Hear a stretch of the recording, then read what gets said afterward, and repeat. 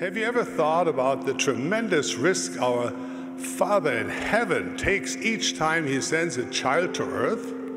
These are his spirit sons and daughters. They have limitless potential. They are destined to become glorious beings of goodness, grace, and truth. And yet, they come to earth completely helpless, barely able to do anything besides cry for help. My message to all parents is this The Lord loves you, He is with you, He stands beside you. He is your strength in guiding your children to make righteous choices.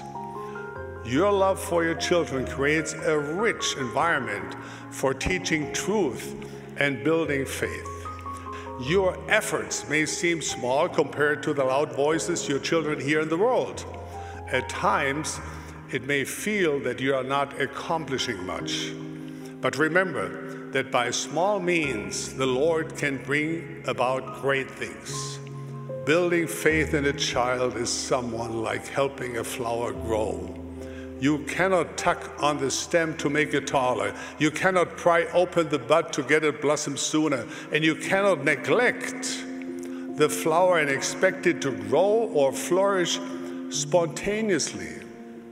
What you can and must do for the rising generation is provide rich, nourishing soil with access to flowing heavenly water.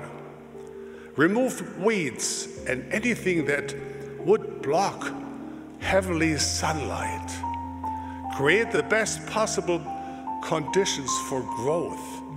Patiently allow the rising generation to make inspired choices and let God work His miracle. The result will be more beautiful and more stunning and more joyful than anything you could accomplish just by yourself.